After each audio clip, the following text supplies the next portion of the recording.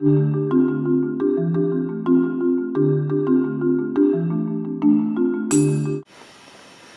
guys, Mr. AJ's Tech here. Today I'm showing you 5.0 push notifications. So this is going to be a quick video demonstrating these push notifications.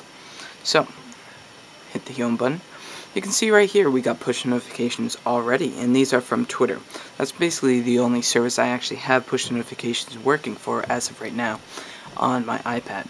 So in the past two videos I showed you installing iPhone OS 5.0 and the cordless setup. So it's really cool and I've been liking the OS so far, but I have been uh, trying to look for some of the features like the camera button that's right there.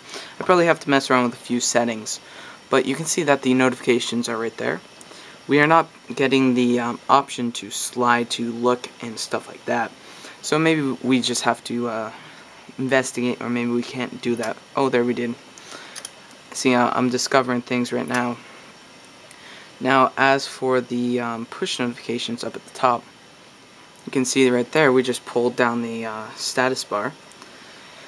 And yeah, so um, this is push notifications. I just showed you that I could just slide, and I didn't even actually expect that it would um, slide to unlock. So um, we're just going to new message. Wait for some push notifications. And here we go. We got some push notifications right there. This is from iOS Life. This is Heyo. So you can either just slide to lock to go to the normal thing, or you can you got the slider right here. So that's really cool. I'm really liking the slide to unlock.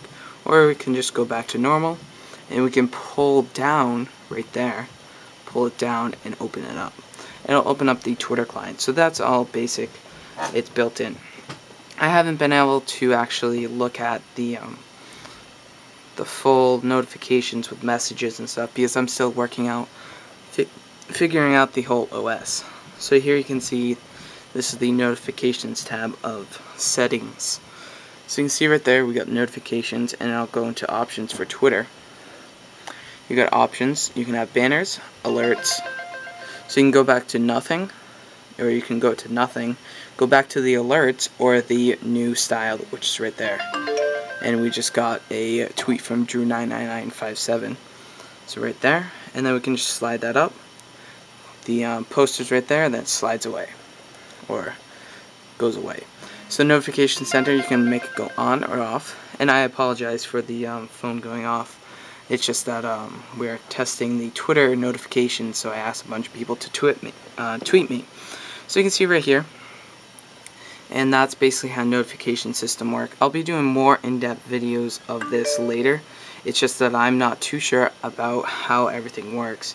I know that weather was supposed to be including up there, included up there, and stocks, but of course we don't have those on the iPad 2 or the iPad OS of iPhone uh, 5.0. So I hope you like this video. Uh, tell me if you want to see more, so I'll just make another video but this is probably the first uh, set of videos out for 5.0. Rate, comment, and subscribe, and I'll see you in the next video, and also check out iOSforlife.com.